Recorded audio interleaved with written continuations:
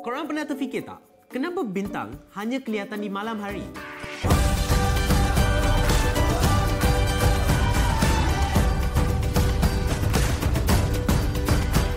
Hai, terdapat berjuta-juta bintang di angkasa. Sesetengah bintang boleh mengeluarkan cahayanya sendiri, seperti matahari.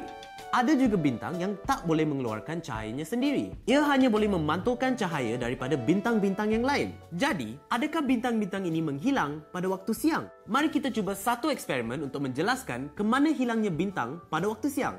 Untuk eksperimen ini, kita memerlukan sekeping sampul surat, sekeping manila card, gunting, marker, dua buah lampu suluh dan satu jangka lukis untuk menebuk lubang. Mula-mula, potongkan manila card ini supaya muat untuk dimasukkan ke dalam sampul surat.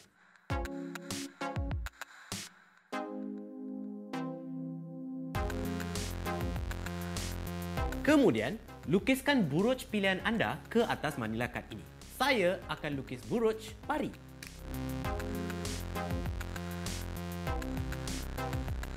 Kemudian, tebuk manila card mengikut corak buruj yang anda lukis. Saya akan tebuk manila card ini menggunakan jangka lukis. Seterusnya, masukkan manila card ini ke dalam sampul surat. Oh, jangan lupa padamkan lampu untuk melihat bintang dengan lebih jelas ya. Halakan lampu suluh dari arah belakang sampul surat seperti ini. Nampak tak? Corak bintang dan buruj boleh dinampak dengan nyalaan satu lampu suluh. Ini pula bagaimana buruj biduk akan kelihatan. Dan ini adalah bagaimana bentuk buruj berlantik. Cantik kan? Okey, macam mana jika kita nyalakan lampu suluh dari arah depan sampul surat? Haha, langsung tak nampak apa-apa kan?